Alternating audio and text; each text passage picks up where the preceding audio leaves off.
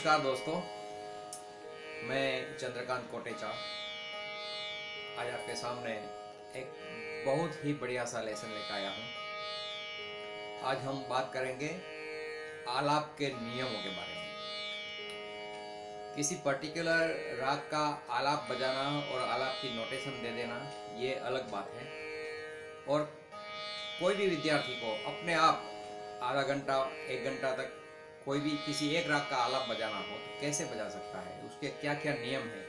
ये नियम बताने की मैं आज बात करता हूँ आपके साथ दोस्तों, आपने देखा होगा कि मेरे सब ट्यूटोरियल जो आते हैं, वो एकदम क्वालिटी वाले आते हैं। इसलिए मैं हर हफ़्ते में मुश्किल से एक आध ट्यूटोरियल ही दे पाता हूँ, देता रहा हूँ। और इस बार भी मैं ये क्वालिटी ट्यूटोरियल देने की कोशिश कर रहा हूँ। इस ट्यूटोरियल को देखने के बाद आप अपने आप बहुत अच्छे अच्छे आलाप स्वयं बजा पाएँगे। तो आपने अगर ये चैनल को सब्सक्राइब नहीं किया है तो कर दीजिएगा, ताकि आपको इस तरह के और भी ट्यूटोरियल के नोटिफिकेशंस मिलते रहेंगे। तो चलिए हम बात करते हैं आलाप की। अभी जो मैंने आलाप बजाया था, वो था राग हंस ध्वनि में। तो आइए देखते हैं कि राग आलाप बनाने के नियम क्या क्या है। किस नियम को हम ख्याल में रखते हुए आलाप बजा सकते हैं? तो पहली बात करते हैं आलाप के प्रकार की। तो मेन दो प्रकार है और फिर हर, दोनों प्रकार के फिर और चार चार प्रकार है आलाप के। तो जो मेन दो प्रकार है वो है, एक तो मीटरलेस यानी बिना ताल के मुक्त आलाप और दूसरा है जोड़ के आलाप जो कि बिट के साथ, ताल के साथ, ताल नहीं होता है, लेकिन इन बिल्ट मन में बिल बिट चलते रहते हैं और बिट के साथ आलाप चलते हैं। चलो दोनों का एक एक प्रकार में थोड़ा सा आपको दिखा दूँ। अभी जो मैंने बजाया था अंश ध्वनि का आलाप पहले वो था मीटरलेस यानी मुक्त आलाप, बिना ताल का। अभी जोड़ का आलाप जो कि बिट के साथ होता है, देखिए।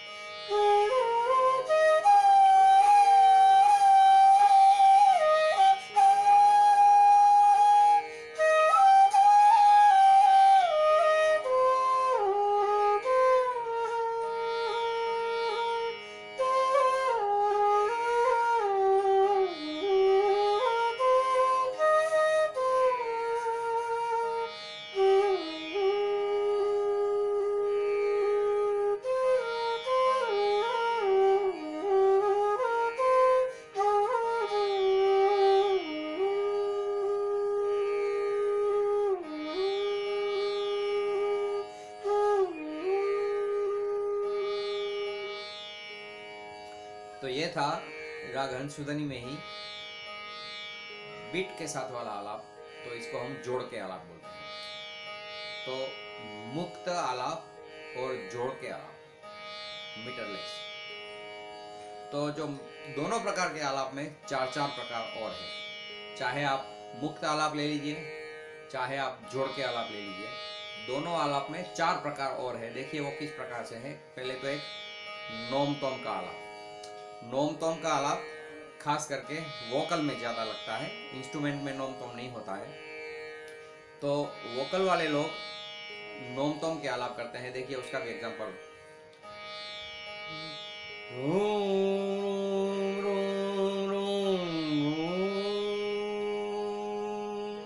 इस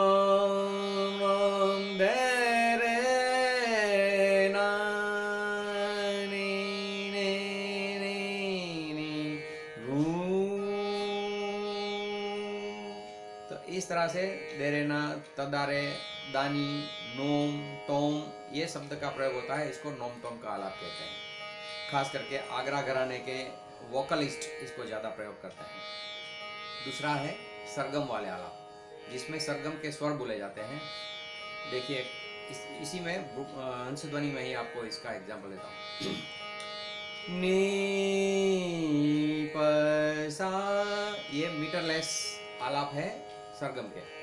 नी प सा प नी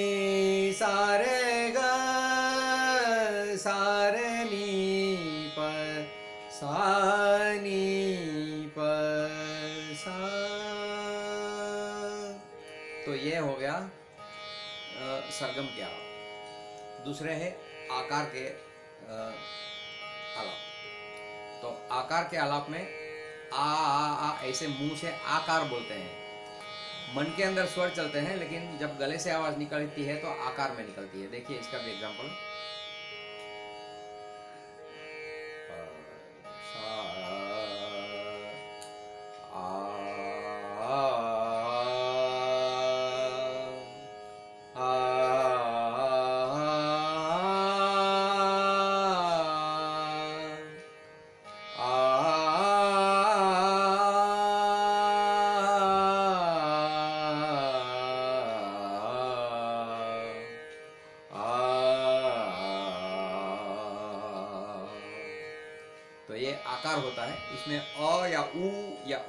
ऐसा नहीं बोलते हैं। आ ही बोलते हैं, यही अच्छा है, यही सही है।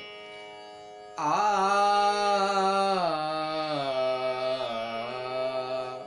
आ आ आ इस तरह से आकार होता है। तीस फिर चौथा प्रकार है, बोल के आलाप। बोल के आलाप है, वो जो गीत या बंदिश के बोल होते हैं, शब्द होते हैं लिरिक्स होता है, उसको गाते हुए आलाप करते हैं। देखिए इसका भी एग्ज़ाम्पल यही अंश ध्वनि में लेते हैं। लागी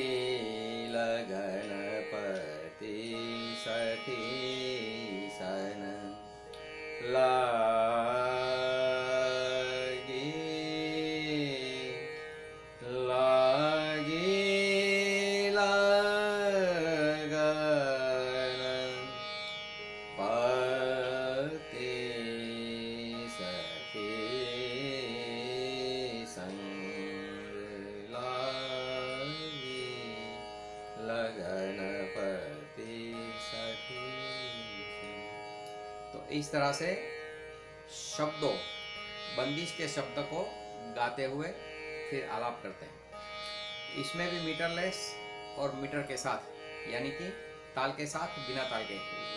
चारों चार प्रकार में दोनों दोनों ये होता है प्रकार। तो ये बात हो गई आलाप के प्रकार की। सब प्रकार के आलाप आप गा सकते हैं या कुछ आलाप ऐसे हैं जो सिर्फ़ बजा सकते हैं, जैसे कि सरगम के आलाप है वो आप बजा सकते हैं, वो मीटरलेस और मीटर के साथ या मीटरलेस दोनों प्रकार से बजा सकते हैं। तो खास करके हम अभी इंस्ट्रूमेंट यानी फ्लूट की बात करते हैं तो फ्लूट में मीटरलेस और मीटर के साथ जोड़ के आलाप इसकी बात करेंगे। तो अभी हम राग, किसी भी पर्टिकुलर राग का आलाप अगर बजाना चाहें तो इसमें कैसे राग का विस्तार कर सकते हैं, कैसे आलाप बढ़िया सा कर सकते हैं, आधा घंटा, पौना घंटा एक एक घंटा तक, पहले तो एक डेढ़ घंटा तक उस्ताद लोग आलाप करते थे। तो इस तरह से आलाप कैसे किया जाता है, इसकी बात करते हैं। तो आलाप गाने या बजाने के कुछ नियम हैं। एक एक करके सारे नियम मैं आपके सामने रख रहा हूँ इसका लिस्ट भी बना के रख दूँगा, आप चाहें तो इसका कॉपी कर लीजिए। और एक एक नियम आपके सामने एग्ज़ाम्पल के साथ बताऊँगा। तो पहला नियम है, किसी भी राग का आलाप बजाते वक्त उस राग का आप वादी और संवादी क्या है समझ लें, अच्छी तरह से समझ लें। खास करके राग का पूरा परिचय आपको पता होना चाहिए, लेकिन वादी संवादी खास क्या है और उसका मतलब भी क्या है, ये भी आपको पता होना चाहिए। तो वादी का मतलब है जो राग का एकदम इम्पोर्टेंट स्वर है, जिसका बार बार यूज़ होता है, जहाँ पे ज़्यादा लंबा न्यास होता है तो वो स्वर को वादी कहते हैं। और दूसरा है संवादी, जो राग में जितने भी स्वर है, उसमें वादी के बाद जो दूसरा महत्व का जो स्वर है नेक्स्ट इम्पोर्टेंट स्वर दैट इज़ संवादी। तो वादी और संवादी स्वर पे तो न्यास होता ही है। न्यास यानी रुकना, ठहरना। किसी भी स्वर स्वर के ऊपर आप रुकते हैं तो उसको उसका न्यास कहते हैं। तो वादी संवादी के ऊपर तो न्यास होता है। उसके अलावा न्यास के और भी स्वर राग में होता है। आप राग का परिचय देखेंगे तो उसको पता चल जाएगा कि कौन से राग में कौन से न्यास के स्वर हैं। तो न्यास के स्वर पे आपको रुकना है, ठहरना है। देखिए उसका एग्ज़ाम्पल हम देते हैं। भूपाली की बात करें तो उसका वादी स्वर है ग। तो भोपाली में आप जब आलाप करें तो ग पे ज़्यादा ठहरना है और ग बार बार लेना है, ज़्यादा लेना है और लंबा उसके ऊपर ठहराव भी करना है। देखिए।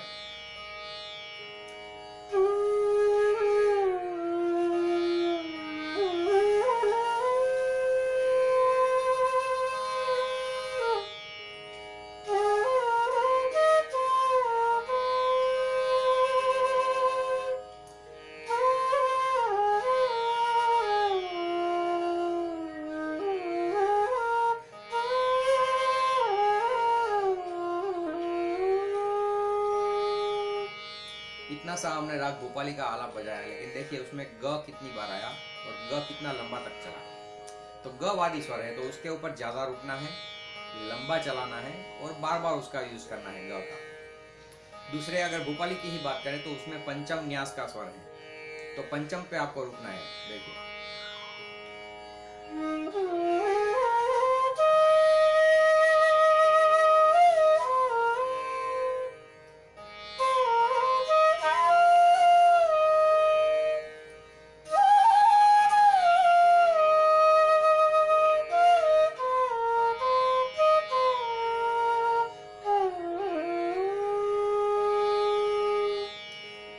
न्यास के स्वर होते हैं, उसके ऊपर भी रुकते हैं, ठहराव करते हैं। स्वर को एकदम आराम से लंबा तक उसके ऊपर बजाते हैं।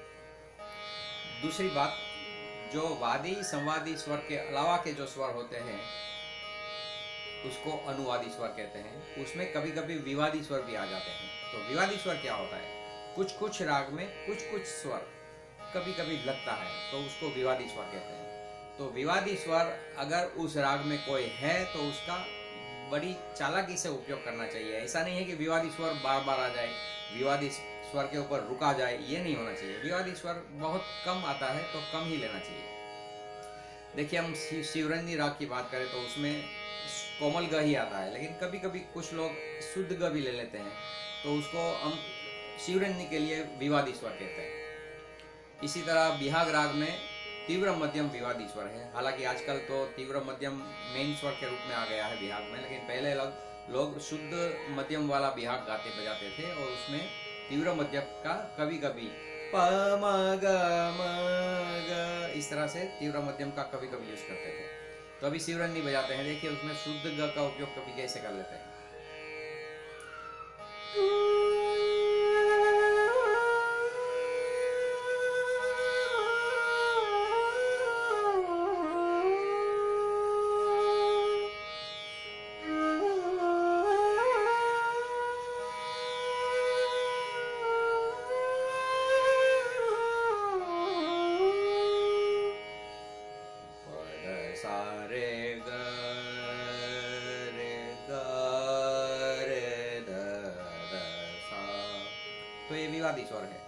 तो जिस राग में अगर कोई विवादित, विवादी स्वर है तो उसका बड़ी चपलता से यूज़ करना है। और उसका यूज़ जहाँ होता है, वहीं होना है। जितना होता है, उतना ही होना है, ये बात आपको समझ लेनी है तो हर एक राग में वादी, संवादी, अनुवादी, विवादी, न्यास के स्वर, ये आपको देख लेना चाहिए। इसके साथ वर्जित स्वर का भी आपको समझ लेना चाहिए कि किस राग में कौन से स्वर वर्जित है। देखिए, भोपाली राग की बात करें या शिवरंगी राग की बात करें तो म और नी वर्जित है तो उसका प्रयोग नहीं होना चाहिए, ना तो कर्ण में भी होना चाहिए। देखिए, कुछ लोग भोपाली में ऐसे बजाते हैं।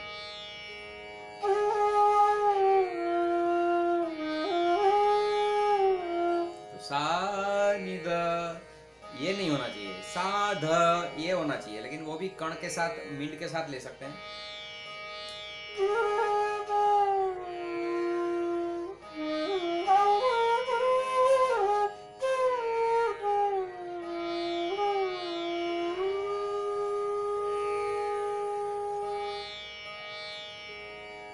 तो म और नी नहीं लेते हैं मतलब ना ही लेते हैं, उसका स्पर्श भी नहीं आना चाहिए। और दूसरा है ग्रह स्वर।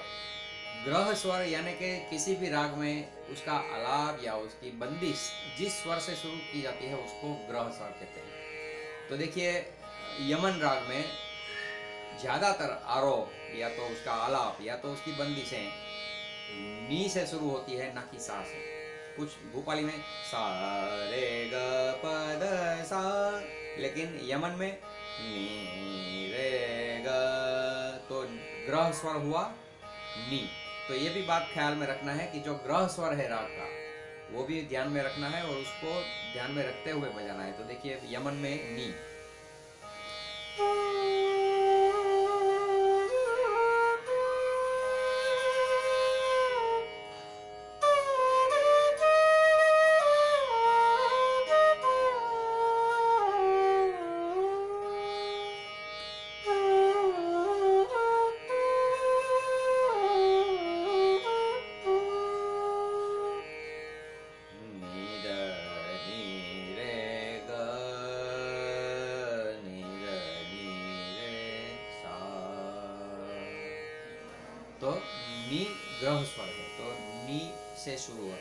ये बात भी ख्याल रखना। आप अगर यमन में, सारे ग, सारे तो ये यमन जैसा नहीं लगेगा। यमन का ग्रह स्वर नी है तो नी से ही करते हैं तो ज़्यादा अच्छा लगता है। कभी कभी साँसें ले लिया तो कोई हरकत नहीं है आगे बढ़ते हैं, दूसरा एक नियम है, राग की पकड़। जो राग का मेन फ्रेज होता है एक ही फ्रेज बजाने से आपको राग का पूरा राग पता चल जाए तो उसको राग की पकड़ कहते हैं। तो राग की पकड़ के जो स्वर समूह है, वो स्वर समूह को आपको आलाप के अंदर समाविष्ट करना है, उसका यूज़ करना है। बार बार चाहे ना करें, लेकिन शुरू शुरू में ही एक दो बार कर ले तो किसी सबको पता चल जाए कि आप कौन सा राग बजाने जा रहे हैं। तो देखिए, यमन की ही बात करते हैं तो इसमें पकड़ के स्वर है सा रे ग नी रे सा तो ये स्वर बजने चाहिए आलाप में। भोपाली की बात करें। ग रे सा ध प ध सा रे ग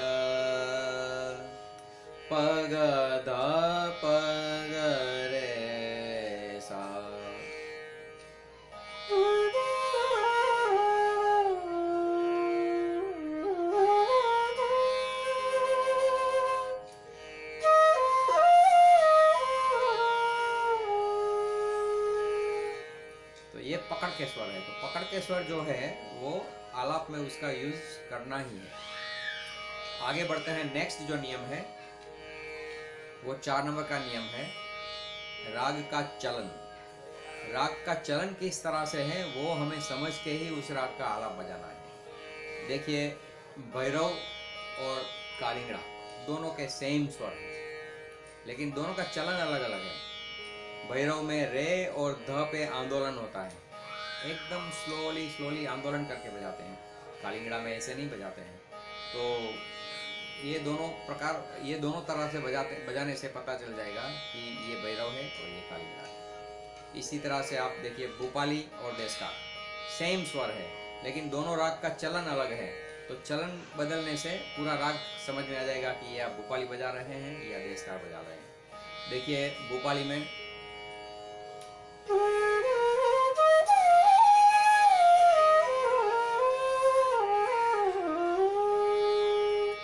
तो ये भोपाली हो गया।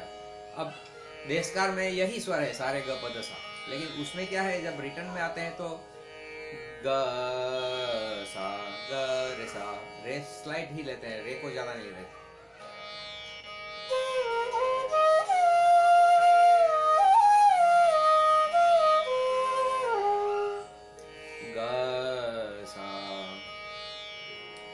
दूसरी बात देशकार में हम सा के बाद तुरंत सीधे ध पे जाते हैं, जो कि भोपाली में नहीं जाते हैं। ये चलन दोनों का डिफरेंस है। तो ये ख्याल में होना चाहिए। देशकार में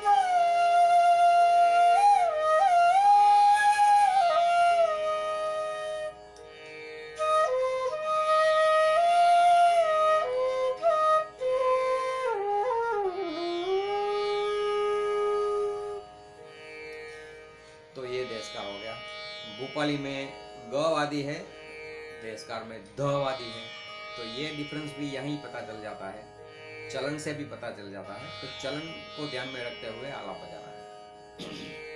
दूसरी बात, एक दूसरे के नज़दीक वाले रागों से जो जिस राग में हम आलाप करते हैं, उसके नज़दीक वाले जो भी राग है, उससे उसको बचाना है। देखिए, हम देश राग की बात करें तो जय जयवंती बहुत करीब का है, तिलक का मोद भी बहुत करीब का राग है तो ये सारंग का आरोह भी उसके एकदम करीब है तो उससे बचाना है। देखिए, देश राग की बात कर रहे हैं।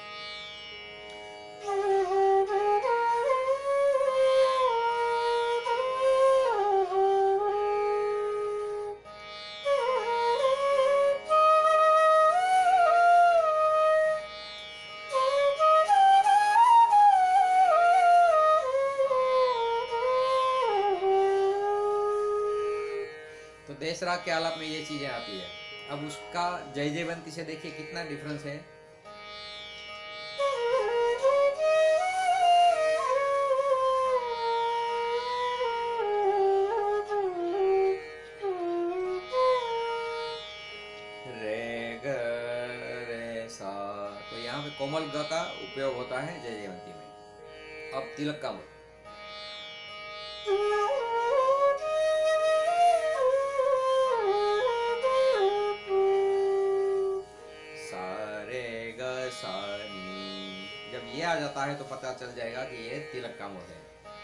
सारे स्वर देश जैसे ही हैं, लेकिन देश से उसको बचा के रखना है।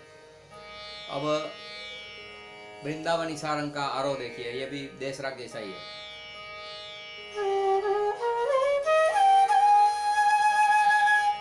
तो इतना सा बजाया तो पता नहीं चलेगा कि ये देश राग का आरोह था या वृंदावनी सारंग का था, दोनों का आरोह सेम है। लेकिन इसको बचाते हुए चलना है तो बीच में से थोड़ा कोमल नी के बाद द या तो म के बाद ग ले लें तो पता चल जाएगा।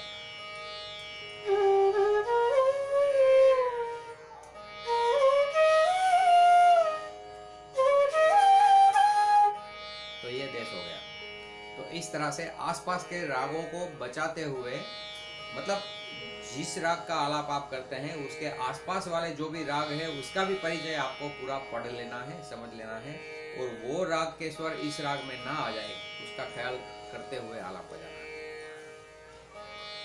फिर राग के जो मुख्य फ्रेजिस है, कई राग में कई मुख्य फ्रेजिस होते हैं, मुख्य स्वर समूह होते हैं, उसको आपको बार बार लेना है।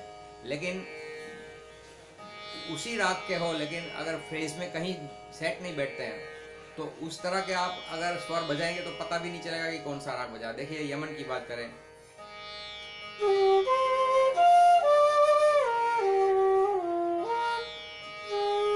ये यमन के स्वर है, लेकिन बिखरे हुए हैं। कोई उसका चलन का ठिकाना ही नहीं है। तो ये आपको पता नहीं चलेगा कि आपने यमन के स्वर बजाए। तो यमन के स्वर बजाने हैं तो यमन के चलन को या यमन के रागवाचक जो शब्द स्वर समूह है।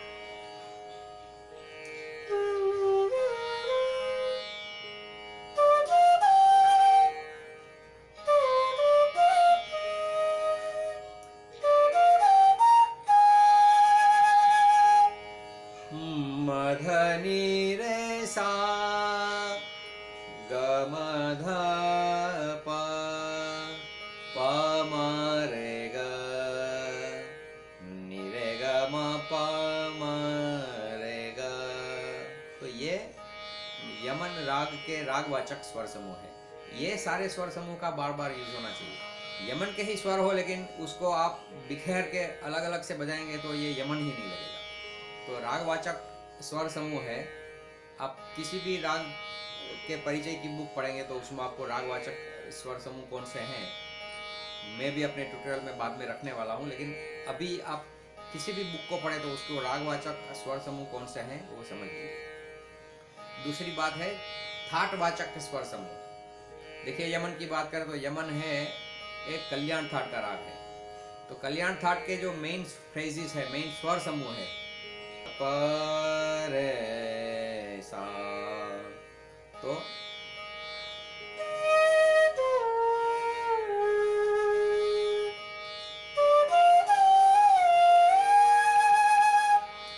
तो ये सारे स्वर समूह है, ये थाटवाचक है। पर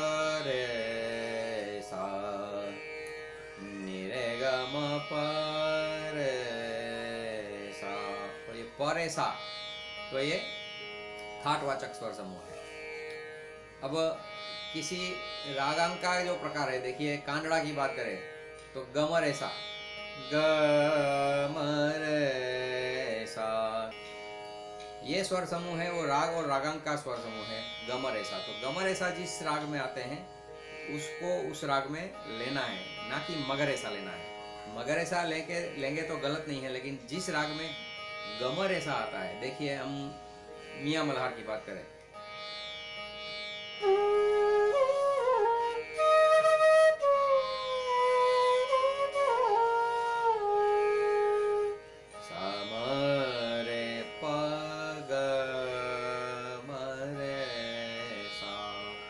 तो यहाँ ग कोमल है और म रे सा शुद्ध है। अब हम बात करें अहिर भैरव की या भैरव की तो उसमें कोमल रे वाला ग म रे है।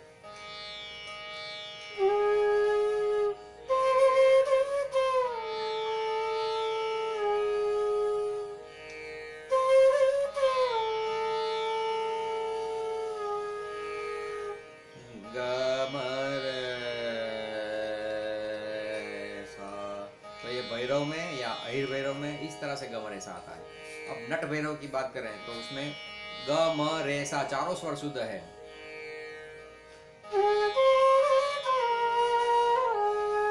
सा, ग, म, रे, सा नट भैरव में आता है। तो यहाँ ये गमर ऐसा लेना है। तो हर तरह के राग में अलग से होता है। आगे बात करते हैं। जब आप अलंग राग का आलाप बचाते हैं तो आलाप के अंदर कुछ कुछ हद तक अलंकारों का भी यूज़ किया जा सकता है। देखिए, पूरा अलंकार बजाएँगे तो भी ये रागवाचक आलाप नहीं लगेगा। देखिए, हम एक, यमन की बात करते हैं।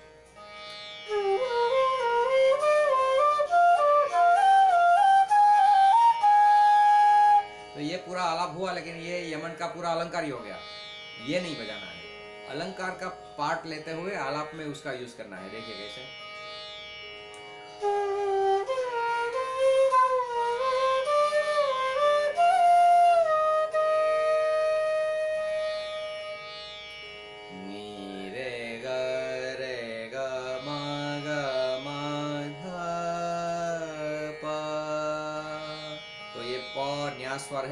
प रुक भी गए। नीरे ग तो ये पहले के जो स्वर समूह है, वो हमने अलंकार के रूप में लिए। इसी तरह अवरोह में भी कुछ अलंकार इस तरह से लिए जाते हैं।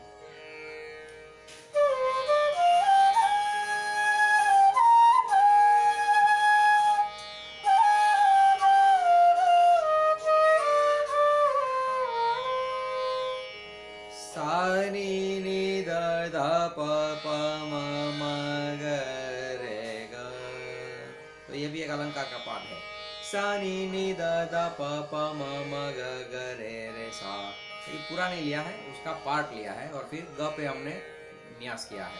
ग पे हम ठहराव किया है। तो कभी कभी अलंकारों का तो ये तो मैंने एक सैंपल दिया है एग्ज़ाम्पल आप किसी भी अलंकार को, किसी भी राग के अंदर, राग राग का स्वर समूह ध्यान में रखते हुए अलंकार को अंदर सेट कर सकते हैं।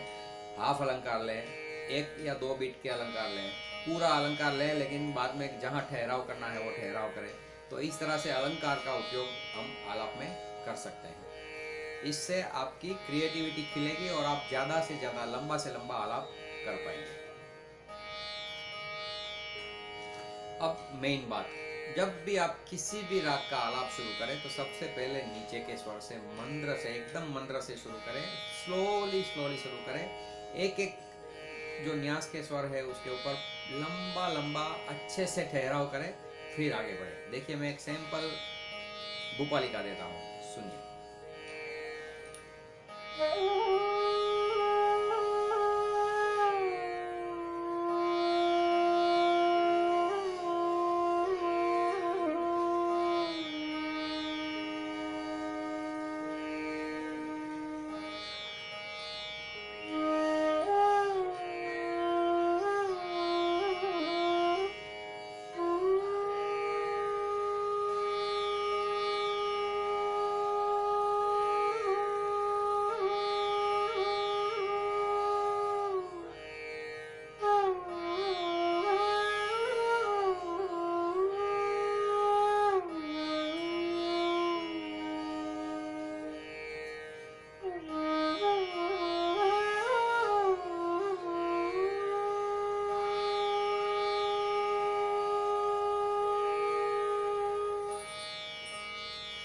जिस राग में मंद्र में गाना बजाना अलाउड है, उस राग में तो आप 10 मिनट तक मंद्र में सा से नीचे ही घूमते रह सकते हैं। तो इसमें आपकी क्रिएटिविटी और ज़्यादा खिलेगी और आप लंबा से लंबा अच्छा से अच्छा आलाप कर पाएँगे। उसके बाद आपको सा के बाद रे रे के बाद ग जाना है। जिस राग में मंद्र में ज़्यादा आलाप अलाउड नहीं है तो वहाँ ठीक है कि आप डायरेक्ट ऊपर से आलाप कर सकते हैं। जैसे सोहिनी राग है। मारवा पुरिया और सोहिनी, तीनों के स्वर सेम है, लेकिन सोहिनी हमेशा ऊपर के सप्तक में ही गाया बजाया जाता है तो उसमें मंद्रा आता ही नहीं है। कभी कभी नी ले लिया ठीक है, लेकिन नीचे के ध और नीचे के मंद्रा म तक तो कभी जाते ही नहीं है। तो उसमें अगर आप ऊपर के आलाप लें तो चलेगा।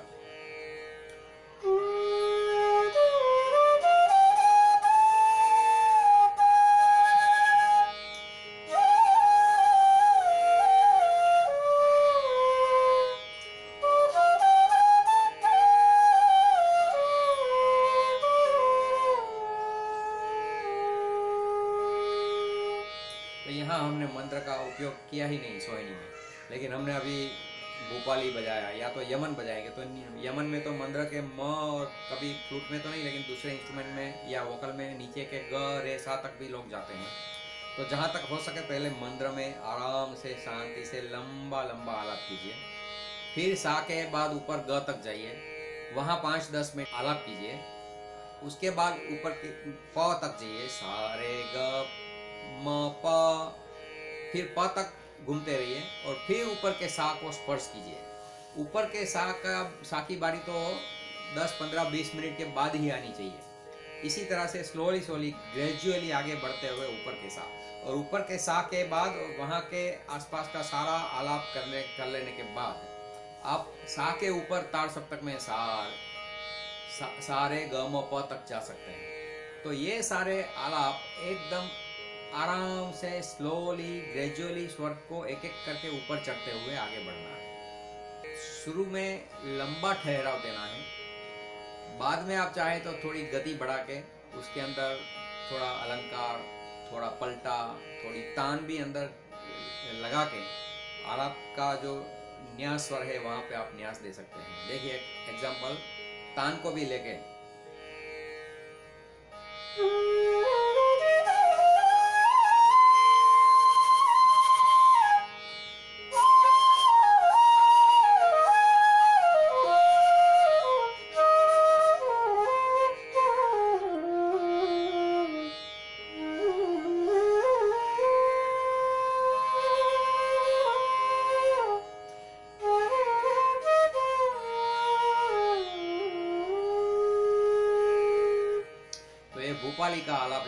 ऊपर से हमने नीचे आते हुए तान का यूज़ किया। तो तान लेते हुए नीचे आते, फिर ग का न्यास स्वर है तो ग पे हम आराम से न्यास करेंगे। तो इस तरह से अलंकार, तान, पलटा, ये सबका भी आरोह या अवरोह में यूज़ करके फिर न्यास के स्वर पे आप रुक सकते हैं। दूसरी एकदम इम्पोर्टेंट जो बात है, वो आलाप बजाते वक्त आपको मींड कण, गमक, खटका, मुर्की और आंदोलन। ये सारे ऑर्नामेंट्स का बहुत ही भरपूर यूज़ करना है और जिस तरह से जहाँ जैसे होता है, वो समझ के करना है। देखिए, अगर आप भैरव का आलाप बजाएँगे तो रे और ध पे बहुत बढ़िया सा आंदोलन आएगा। तो आंदोलन कैसे होता है देख लीजिए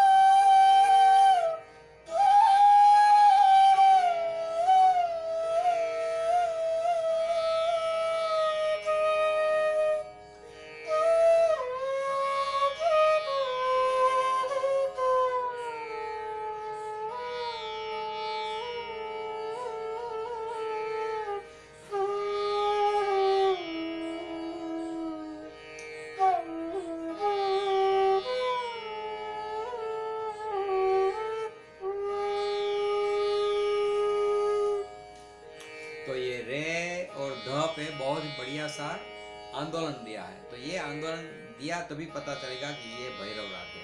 अन्यथा कालिंगड़ा होने का भी एहसास हो सकता है।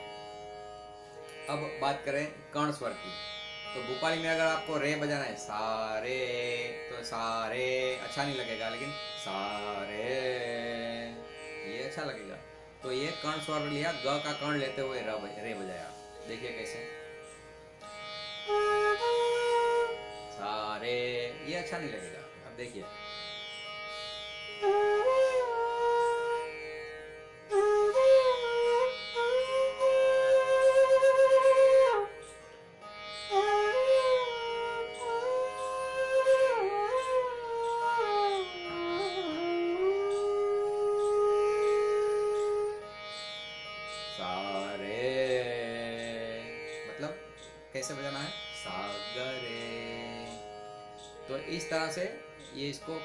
कर्ण स्वर का यूज़ किया है। स्पर्श स्वर यानी ग का स्पर्श लेते हुए रे को बजाया। अब बात करते हैं मींड की।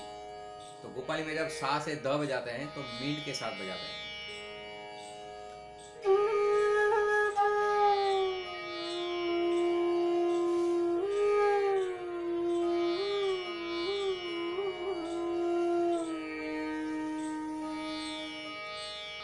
देखिए, इसको डायरेक्ट बजाते हैं तो कितना अच्छा नहीं लगेगा।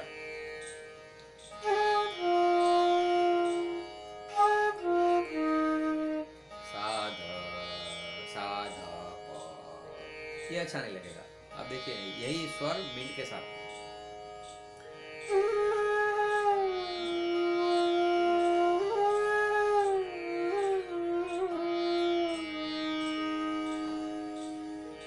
तो इस तरह से मिंड का यहाँ यूज़ होता है तो करना है। अब खटका मुर्की। देखिए, मुर्की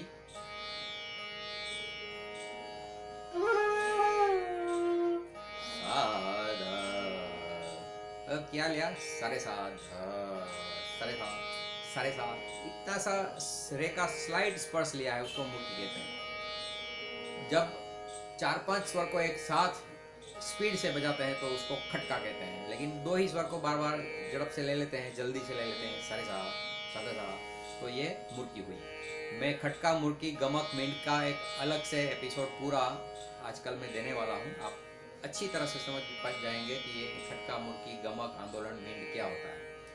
अभी आलाप में उसका कैसे यूज़ करना है, इसके लिए मैं आलाप की, आलाप को ध्यान में रखते हुए आपको बता रहा हूँ। तो जहाँ भी आप आलाप, जो भी राग में बजाएँ, वहाँ अच्छे से खटका मुर्की, गमक मीन कर्ण, स्वर का यूज़ करते हुए आलाप बजाना। है फिर अगर हम चाहें नेक्स्ट जो नियम है अच्छे से आलाप ले लिया, बाद में जोड़ का आलाप भी ले लिया। अब आप चाहे क्लाइमैक्स क्लोजिंग करना है तो उसको आप तिहाई के साथ क्लोज करेंगे आलाप को तो और भी अच्छा लगेगा। देखिए कैसे।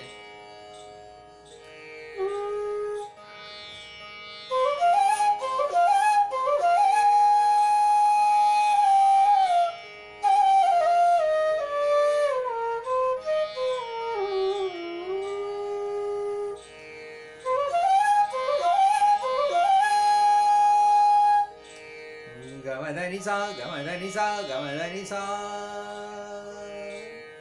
तो ये तिहाई है। तो इसको तिहाई को लास्ट में लेके फिर आलाप को क्लोज करना है और फिर नीचे के सा के ऊपर आराम से आना है। सा गमधनि सा गमधनि सा नि ध नि ध रे ग नि सा तो इस तरह से क्लाइमैक्स में तिहाई भी लेके आलाप का समापन कर सकते हैं। और एक लास्ट नियम मैं आपको बता दूँ, जब भी आप किसी राग का आलाप बजाएँ, खास करके पब्लिक के सामने बजाएँ तो राग का समय और राग की प्रकृति को भी ख्याल में रखना है। अगर आप प्रैक्टिस घर पे कर रहे हैं एक्सरसाइज कर रहे हैं तो कभी भी कोई भी राग की कर सकते हैं, कोई प्रॉब्लम नहीं है। लेकिन अगर आप, आपने 10-20 लोगों के सामने बजाया या तो कोई स्टेज पे 100-200 लोगों के सामने बजाया और आलाप बजाया तो राग का समय ख्याल में रखते हुए ही बजाना है तो ही उसका माहौल बनेगा अच्छा लगेगा। देखिए, भटिया राग है अर्ली मॉर्निंग पाँच बजे का राग है और आप दोपहर को दो बजे, पाँच बजे किसी को, शाम को पाँच बजे किसी को सुनाएँगे तो अच्छा नहीं लगेगा। देखिए, मैं भटियार का थोड़ा सा आलाप देता हूँ, कैसे सुबह का अर्ली मॉर्निंग का माहौल क्रिएट होता है, देखिए।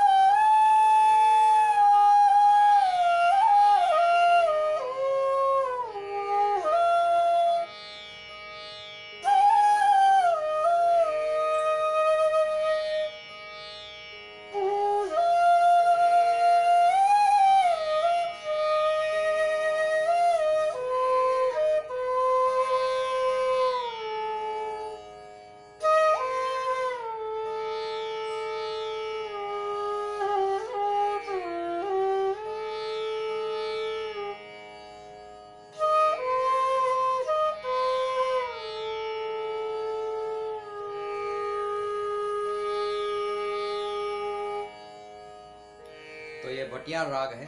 अर्ली मॉर्निंग का राग है, सुबह का प्रथम प्रहर। इसको अगर दोपहर को बजा लिया तो ज़्यादा अच्छा नहीं लगेगा। तो राग का प्रहर कौन सा है? गाने बजाने का। वो ध्यान में रखते हुए आपको राग का आलाप करना है। दूसरा, राग की प्रकृति भी देखनी है। भोपाली देर गंभीर शांत प्रकृति का राग है तो उस तरह से बजाना है। अगर आपको पीलू बजाना है तो वो भी शांत और एकदम रोमांटिक प्रकृति का राग है। यमन है तो वो इसमें आप भक्ति भक्ति रस भी ले, ला सकते हैं। तो इस तरह से राग की प्रकृति क्या है? मारवा राग है, अत्यंत करुण राग है तो उसको इस तरह से बजाना है। देखिए, मारवा का एक थोड़ा सा आलाप, कैसे, कितना करुण एटमोसफियर क्रिएट करता है।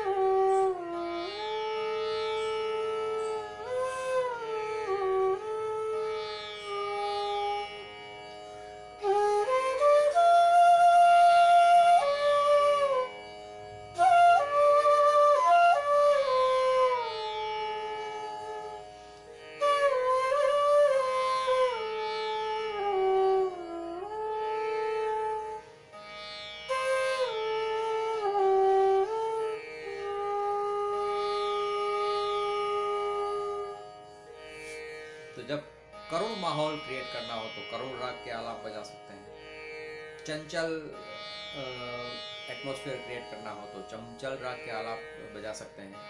भक्ति रस एटमॉस्फेयर क्रिएट करना हो तो भक्ति रस के आलाप बजा सकते हैं।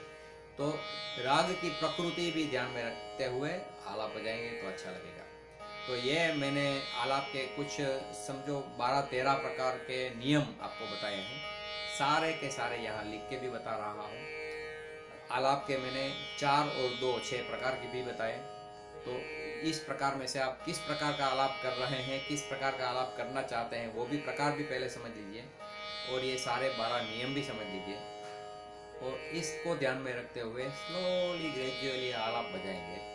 तो मैं समझता हूँ, आप आराम से अगर बिगिनर भी हैं तो आराम से आधा घंटा तक आलाप बजा पाएँगे। तो मैं मानता हूँ, ये आलाप बजाना, कैसे बजाना, इसका ये एपिसोड आपको अच्छा लगा होगा। अगर अच्छा लगा है तो कमेंट दीजिए, आपका सजेशन दीजिए। और आपकी फरमाइश भी दीजिए आप क्या चाहते हैं और मैं कुछ कुछ रागों के आलाप इसकी नोटेशन के साथ आपके सामने नेक्स्ट वीक में रखने वाला हूँ ताकि आप आधा घंटा, एक घंटा तक आलाप करना भी चाहें तो कैसे कैसे स्वर लेके उसमें किस तरह के ऑर्नामेंटेशन का यूज़ करते हुए कर सकते हैं, ये सारी बात मैंने एक एक राग को लेते हुए, हर एक राग का बार बार बारी बारी से आलाप लेंगे और आपको बताएँगे। अगर आपको ये एपिसोड अच्छा लगा है तो ये चैनल को भी सब्सक्राइब कर दीजिए और आपने इसको अच्छी तरह से यहाँ एंड तक देखा, इसके लिए मैं आपका आभारी हूँ। धन्यवाद। थैंक यू वेरी मच मैं चंद्रकांत कोटेचा आपको आभार व्यक्त करता हूँ। Thank you